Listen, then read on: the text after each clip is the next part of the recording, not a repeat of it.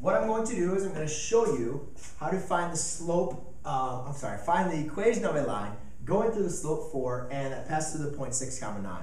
So I obviously previously already showed you guys this example by plugging the equation into y, um, my uh, point slope form equation. What I want to do is I want to show you how can you do it when you just when you want to plug it into the y equals mx plus b or the slope intercept form. Well, one thing you guys got to remember is if you have a point that's your x and your y, right?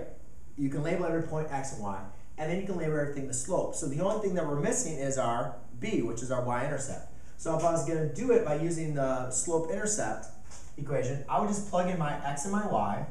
So my y would be 9 equals m, which is 4, times my x, is 6, plus b. Now again, I don't know what b is, so I'm going to have to solve for b.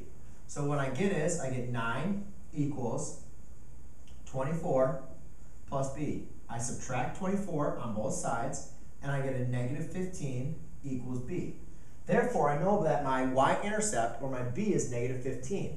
So then what I'm going to do is, now that I know that b is negative 15, and my 4, or my slope m, is, my m, or my slope is 4, I can just write them into the equation. y equals 4x minus 15. And you can see, if I would have done this the same way using slope-intercept form, I get the exact same answer.